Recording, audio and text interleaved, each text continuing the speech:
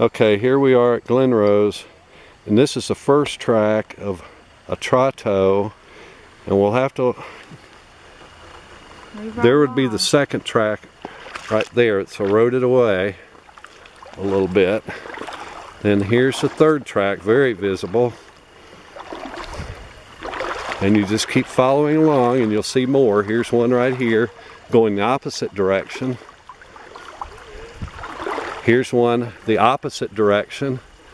But here's one going the same direction, very obvious. Here's one very, very obvious, one of the better ones, that's a good one. going the same way as we're going here. Oh, look, there's a there's a brontos. What's the other one? See the half moon there? Yep, That's another kind. Right. There and Yeah, right there. possibly there, but he- definitely I'd say here. Tritos, though, is And then here's the following. Trotto There he goes again. There, yeah. He's still moving along here, and there's his next one wow. right there. wow. And we think this is a big one here in the middle. the big round one. The big round one kind of is a- We're still trying to follow Tritos. And we followed him on up here, There's, there he goes right here. and here he is again.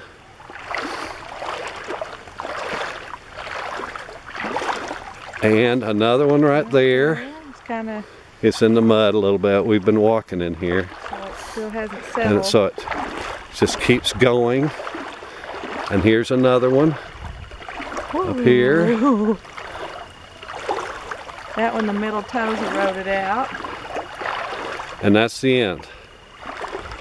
And then we reached where they put concrete across in the riverbed here. Wow, walking Isn't that with cool, eh? dinosaurs. Yay!